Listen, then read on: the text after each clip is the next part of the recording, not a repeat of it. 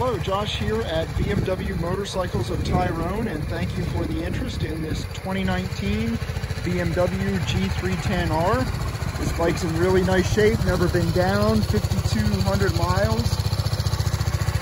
Bike was a lemon law buyback out of California.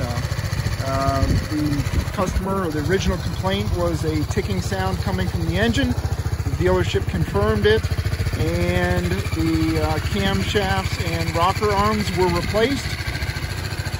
And, and, then it had a failed alternator also. So the bike was bought back by BMW went back to Woodcliff Lake New Jersey where they inspect the machine uh, before selling it off to the dealers.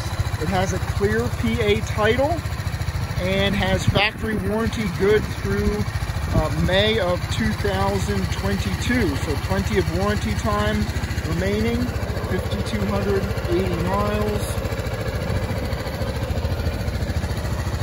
Fuel tank covers look good. We've got a couple boot scuffs here. Here's the back of the bike, SW Motech luggage rack, which is nice. You can see the left-hand side of the bike is clean, other than a small stuff right here on the lower but not real noticeable. And moving around to the right-hand side of the bike. Little patina there on the exhaust can. The plastics look good.